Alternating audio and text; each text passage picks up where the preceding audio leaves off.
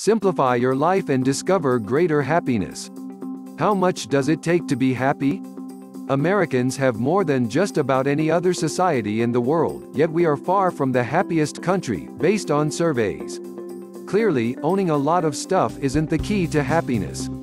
However, we're programmed to believe that we need to continuously upgrade our lifestyle. Until your perspective changes, it will be challenging to find the happiness you seek.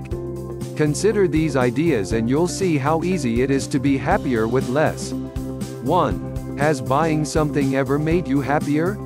Think of all the things you've wanted and ultimately acquired. After the initial rush wore off after you purchased the item, were you any happier? You can't buy your way to happiness. In fact, accumulating stuff tends to create stress. 2. Start by getting rid of the things you don't need. A great first step is to sell, give away, or throw out the stuff you don't need. Pick a room and be honest with yourself.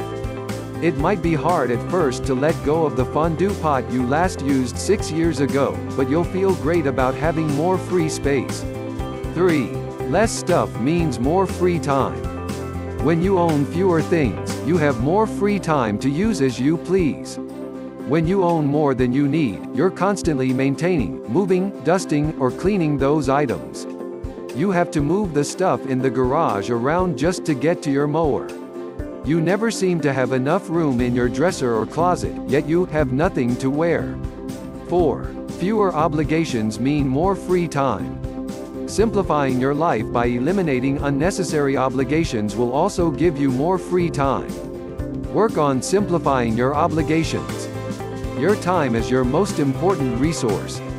How are you spending it? 5. Understand the motivation of marketers and media. TV, movies, radio, and most websites primarily exist to make money. Every ad you face is an attempt to get you to buy something. The primary way this is accomplished is by convincing you that you need it even if you don't. Think of them this way, every ad and commercial are trying to separate you from your money. They'll do just about anything to get you to buy something. Understanding this will allow you to be happier with less. 6. The desire for more is never ending.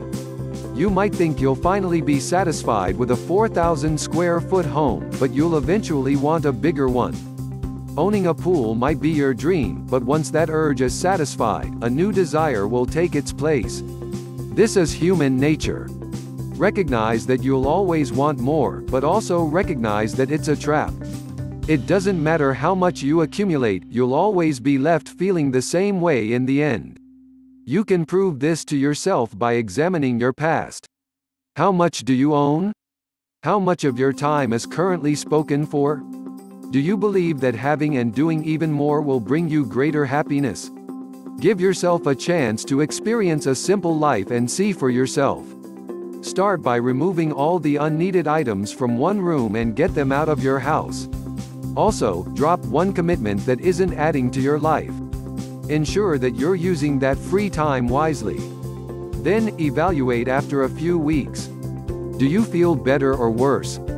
If you've climbed the ladder of success and still feel like something is missing, try living with less in your life. Have questions? Feel as if we could help. Please contact us at 815-932-5425 or visit us on the web at www.tristarkarate.com.